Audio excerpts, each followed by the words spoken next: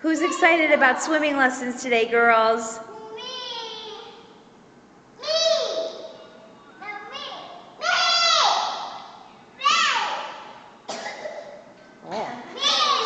Katie, can you sit on the top step? Okay.